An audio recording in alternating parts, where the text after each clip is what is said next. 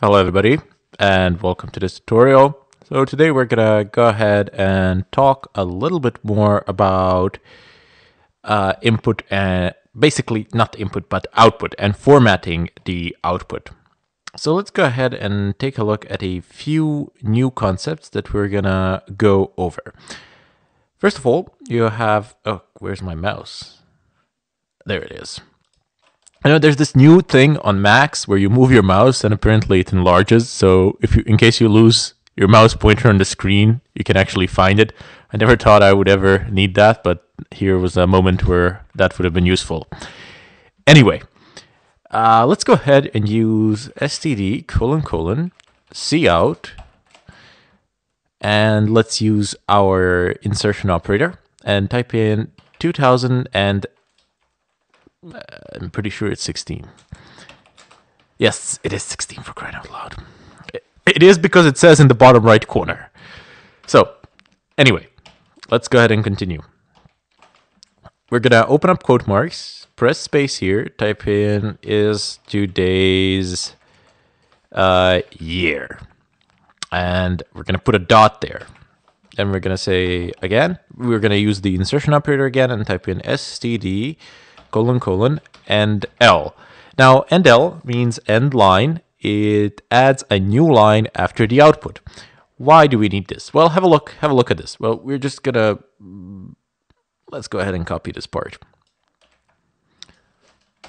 I'm a I'm a really lazy typer, so everything that I can like copy, I'll, I'll like basically just copy it and reuse it for my own code. But Mm, maybe not the best of practices for you at the very beginning. So this is today's month. I'm pretty sure this is not today's month. In fact, I am actually certain now that I look at the date down below. But in my notes, it is the today's month. Okay, now we're going to do this again and type in std colon colon endl. And we need a semicolon at the end here and a semicolon at the end here. These are line terminators and type in std colon colon. I'm going to just type in cout. I would want to get a full date out of this. So insertion, uh, what day is it today? 16th. Apparently it is 16th. I'm very bad with time and dates, etc. I pretty much have no concept of time or anything like that. Never understood it really. Again, we shall type in the insertion operators here, std and L. So if we print this out, each one of these lines will go into a new line, which might seem very natural to you. But let me show you something. So if I run it, build it and run it, you see everything you have 2016 is today's year, three, uh, well, what? Yeah, third is today's month, and 16th is today's day. However, if I did not have endl at the end of every line, so we can just comment them out. I'll explain the comments out in a moment. Well, not here. You can just place a place a line terminator here and slash slash here. You can do the same thing here. Just place a line ending here and slash slash here. Okay, so now let's run the program. Ah, what is this? 2016 is today's year, third is today's month, and 16th is today's day. So the endl at the bottom doesn't really matter, but the other ones do. Why? Well, it doesn't matter that all these things are in different lines. The computer doesn't care. In fact, it couldn't care less. Unless you tell it to actually print something in the new line, everything's going to get printed in the very same line. The last endl here, the last endl, it pretty much just serves to tell you that the, whatever comes afterwards shall be printed into the in the new line. That's pretty much it. Okay, so let's remove this. Keep that in mind. The computer doesn't care how you order. The computer cares what you tell it and how how you tell it to order things how you tell it to order things around. So uh, let's take a look at another example. So there, there are various modes and methods of formatting this. You can take a look at it on the net as well. Or, and you can ask questions in the course itself in the discussion section. There is always somebody from the tech support to provide answers for you there.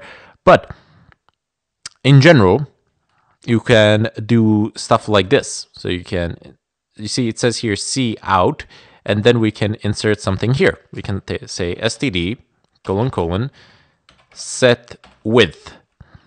And I don't know, we can set width to be five, five positions. And let's go ahead and put those five positions in each one of these. So control C. Oh, actually, need to have need an insertion operator here. So we are going to effectively copy this in order to reuse the code. Space and down here as well. Space. There we go. So uh, it says here set width that it needs to that this first the 2016 in total is going to occupy five positions. So you're going to see one space here in front. Here you're going to see four spaces in front and here you're going to see three spaces in front when it gets printed out onto the screen. So let's go ahead and press Control S to save it and then let's build and run it. Seems to be a problem here in this line. Oh well, no big deal. Ah, right. Of course. Now you see, this is a typical error that people get. They forget to, I don't know, include a certain library. Uh, we're gonna go ahead and include, well, I've forgotten it, but it's a, it's actually a good thing in spite of what you might say. Include. So if you forget something, it doesn't matter. It's gonna tell you. It says error down here in the console place. It's kind of difficult to see it down here, but try to read these errors. Try to read it where it says, it says is not a member of STD. Hmm, okay. Well, probably because we didn't include the library up here.